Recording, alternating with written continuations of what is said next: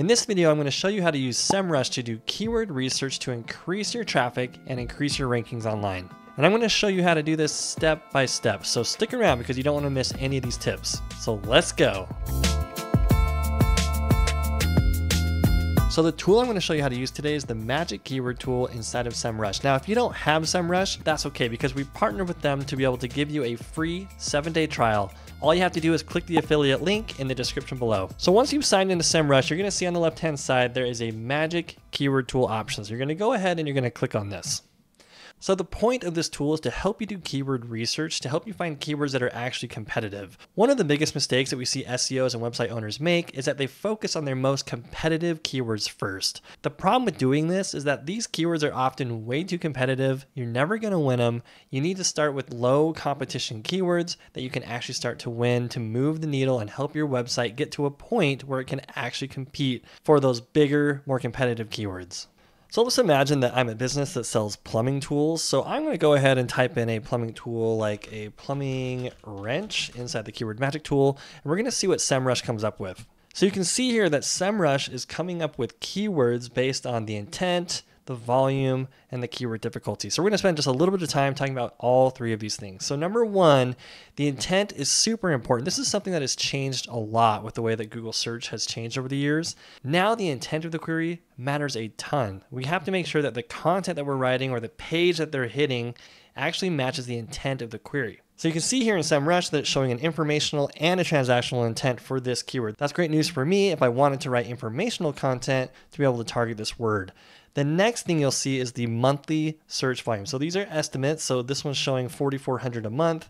And then the KD is the keyword difficulty ratio. Obviously, the higher this number is, the harder time you're going to have ranking for this keyword on Google. So ideally, you want to find keywords that have a low KD percentage and a high monthly search volume and that matches the type of intent of content that you want to create to market for. Now, plumbing wrench is a pretty general keyword. What's even better is if we can find a long tail keyword, meaning a keyword that has multiple words in it, as these are usually less competitive and easier to win. So for example, like plumbing wrench adjustable has an informational intent. So I could write a blog post that explains what this sort of tool is and how it's used. It has decent search volume and it's a really low KD. I should be able to move the needle a little bit on something like that. Um, here's another one, a plumbing spud wrench. That's kind of a unique tool. So I'd want to actually optimize the transactional intent page, which would most likely be a product page.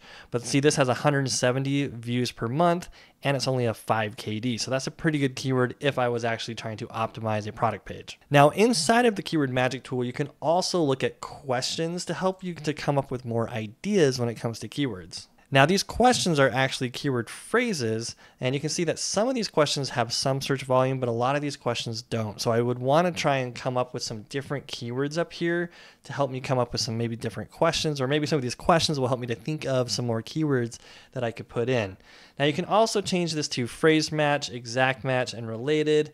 Um, broad match is kind of what I would recommend. Again, Google has changed a lot of this. They don't really honor exact match anymore um, in their ads platform. So you really are just kind of guessing here with SEMrush. But for most cases, broad match should work fine. If you want to get into the weeds with exact match um, or phrase match, you're welcome to do that. Now, another thing to consider is that there are lots of applications for when you would want a plumbing tool. So that means I could potentially focus on things like how to repair a leak, right? Or how to repair a leaky faucet.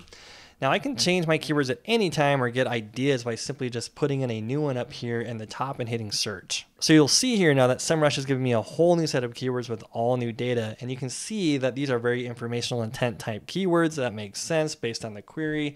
So if we take a look at this list, a lot of these are way too high on the KD ratio. Unless I have a website that is winning a lot of 50 KD keywords, I have no business targeting a word like this. But if we scroll down like a very specific long tail keyword like how to repair a leaky Moen kitchen faucet, while it doesn't have a lot of search volume, it's very relevant to what I'm doing, and the KD ratio is a little bit lower to where I might be able to actually move the needle on this. And somebody is actually really looking for a very specific answer to this, so this isn't a bad keyword to target. So anytime you find a keyword that you think looks good, all you have to do is click on it inside of SEMrush, and it's going to give you even more metrics and data. This is what I really like about SEMrush.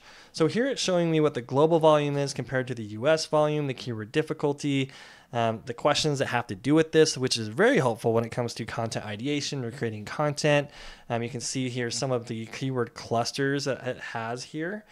One of the things I really like about SEMrush as far as helping you to come up with content to write is that it shows what the top results are for this actual keyword phrase. So you can see that the top result is a YouTube video, the next one's from Moen, the next one's from Moen, another one's YouTube, one's Quora, another one's YouTube, Just Answer, Instructables.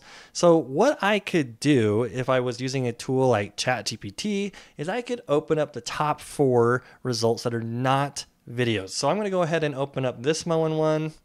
I'm going to open up this other Moen one. Then I'm going to open up another one from this Just Answer. And then I'm going to pick this other Instructables one right here. So I've got four up that are within the top 10 that show how to fix a leaky Moen faucet. So now what you can do is take the URLs from each of these. I'm going to copy the URL. Then inside of ChatGPT, if you've got the ChatGPT 4.0 model or above, you can actually have it crawl and learn the content of these things. So I could say learn the content at this URL. I'm going to paste in the URL and it's going to learn that content. So now I'm going to go move on to the next URL, which was this Moen one. I'm going to copy the URL here. And I'm going to pull up ChatGPT back in here. I'm going to say also learn this information. I'm going to paste in that URL. And I'm just going to add one more URL for good measure here. So I'm going to open up this Moen URL. I'm going to copy this URL and also pop it in into ChatGPT and say also learn this information. Paste in the URL. So now essentially what I've done is I have given and fed ChatGPT the information for the top three results on Google that are not YouTube videos for this content. So now that I have this in ChatGPT, I could say, now write me a 500 word article um, using the information that you've learned. So now ChatGPT has taken the top results on Google and written a new article using some of the same or similar information. Now, I would not want to just copy and paste this into a blog post and call it my article. But this is a great way to get a starting point. So to start massaging this content, I would just click the copy button here in ChatGPT for the answer that it gave me. And I'm just going to paste it inside of a Google Doc so that you can just visually see the content that it created here, right? So it created a title for how to fix a leaky Moen faucet, step-by-step guide. Number one, you identify the source of the leak, the tools and parts you'll need. So again, this is where I would want to change this, maybe put some links to some of the products that we would offer if I'm the type of company that sells products. I'd also want to add some extra value to these sections that give some different points of view or some of my expertise um, if I were in the plumbing industry. But you can see if we keep going here, it then goes into how to repair the leaky faucet. And I would want to double check this because ChatGPT has a tendency to make things up, right? So I want to make sure that everything in here looks good. I want to change it. I don't just want to copy and paste what ChatGPT gave me and put it in a blog post that can actually harm you um, from a Google perspective. But this is a great way to take good information that Google's already deeming as valuable and being able to create a new piece of content using some of that information to give you a jump off point to be able to make your changes, add your value, and then post your content. The other thing I really like, if we go back to SEMrush inside that keyword tool, is after you've clicked on a keyword and it's showing you the top results, it's also showing you what the page authority score is or the DA or the domain authority. So you can see, you know, YouTube, I'm not going to compete with that. Some of these though are I can't compete with, right? Like Moen's page here only has a page authority of 14.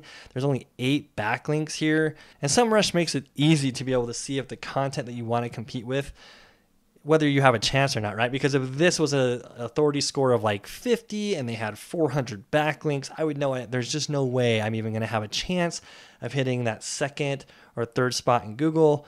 But I have a chance here, right? Like if I was seriously competing for these keywords, these authority scores are pretty low. The backlink count is really low. And this is where a tool like SEMrush is very, very valuable because you're not going to be able to find this information in an easy way using a free tool like ChatGPT, which it has no idea, or the Google Keyword Planner, um, Analytics, or Search Console. It would take a really long time for me to try and pinpoint, you know, that competition, how many links it has, Google's not really going to give you that information. So you have to use a tool like SEMrush. That's why we find SEMrush to be very valuable when it comes to keyword research, because it gives us all the information that we need at a glance to be able to make decisions. So if I liked this keyword, you know, of how to repair a leaky Moen kitchen faucet, I could save that, put it on a list. We typically use this keyword magic tool to be able to build out good strategic lists of keywords that are winnable, that have good search volume, and then also have the intent information on there so that we can make sure that we strategize and craft the content to match the intent. So I hope that this video has helped you to understand how to use SEMrush to be able to do keyword research to find low competition keywords that you can actually win. And again, if you don't have SEMrush, all you have to do is click the affiliate link below in the description to be able to get a seven day free trial. That way you can try SEMrush out and see if it's the right solution for you. If you found this video helpful, please make sure that you hit like and subscribe and turn on notifications so that you'll be notified when we put out more helpful content like this. And if you want to learn how to do more advanced keyword research, make sure that you click on this video where we go over step by step how to do advanced keyword research, just like we do here at BKA Content. Thanks so much for joining me today, and we'll see you on the next video.